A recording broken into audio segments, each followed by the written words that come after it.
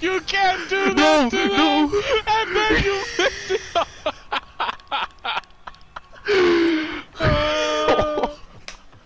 and then you almost missed! Yeah, that would have been really funny if you I would have been so upset, bro. Oh my god.